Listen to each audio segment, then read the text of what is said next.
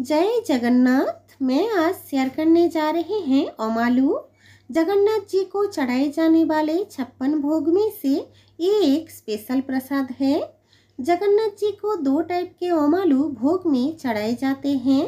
एक होता है बड़ो ओमालू, यानी कि बड़े साइज़ के ओमालू, और एक होता है सानो ओमालू, यानी कि छोटे साइज़ के ओमालू। दोनों टाइप के ओमालू का टेस्ट सेम होता है। सिर्फ़ साइज़ में छोटा और बड़ा होता है।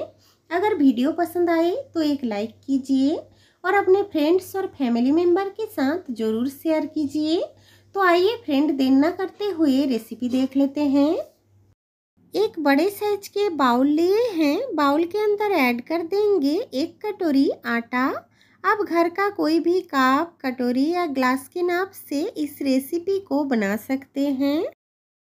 जिस कटोरी के नाप से एक कटोरी आटा लिए थे, सेम कटोरी के नाप से हाफ़ कटोरी डाल देंगे गुड़ का पाउडर।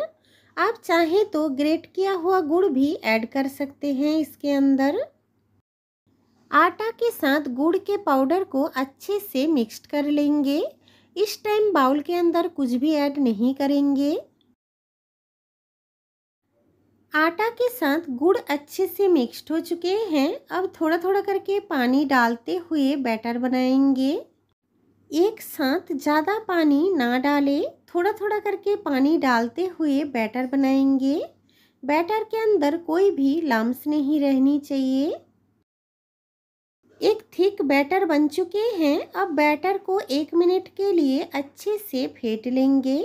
जिससे कि बैटर के अंदर जो लम्स है, वो पूरी तरीके से ख़त्म हो जाए। बैटर को एक मिनट के लिए अच्छे से फेंट लिए हैं। देखिए, बैटर जो है, एकदम स्मूथ और सिल्की बन चुके हैं। अब बैटर के अंदर थोड़ा थोड़ा करके पानी डालते हुए बैटर को थोड़ा सा पतला कर लेंगे।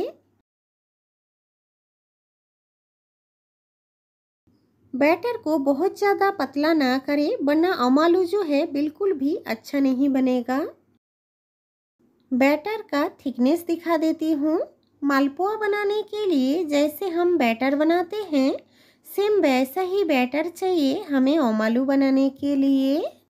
बैटर के अंदर ऐड कर देंगे तीन से चार चुटकी के जितना नमक। हाफ़ टी स्पून दरदरा सा पिसा हुआ काली मिर्च का पाउडर एक टी स्पून दरदरा सा पिसा हुआ सौंफ का पाउडर बैटर के साथ नमक काली मिर्च और सौंफ के पाउडर को अच्छे से मिक्स्ड कर लेंगे।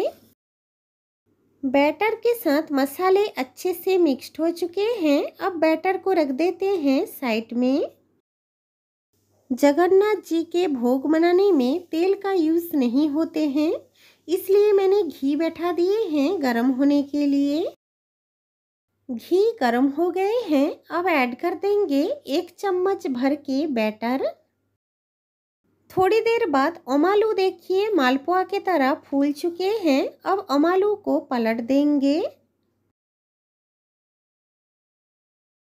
अमालू को दो से तीन बार उलट पालट करते हुए डार्क कलर आने तक फ्राई कर लेंगे। अमालू का कलर गोल्डन ब्राउन हो चुके हैं, अब अमालू को पैन से बाहर निकाल लेंगे।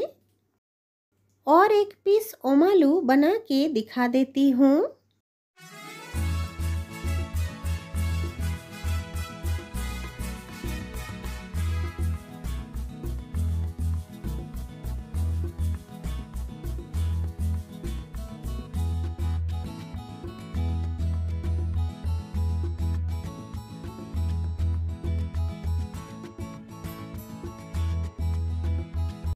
सेम प्रोसेस से सारे ओमालू को बना लेंगे।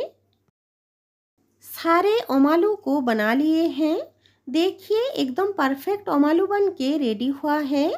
अब ओमालू के ऊपर रख देंगे तुलसी के पत्ते। तुलसी के पत्ते के बिना भगवान जी का भोग का तो कोई मतलब ही नहीं। एक बार इस तरीके से बने हुए ओमालू को घर में ज़रूर बनाइए और जगन्नाथ जी को भोग चढ़ाइए। भगवान जी खुश हो जाएँगे और भर भर के आशीर्वाद भी देंगे।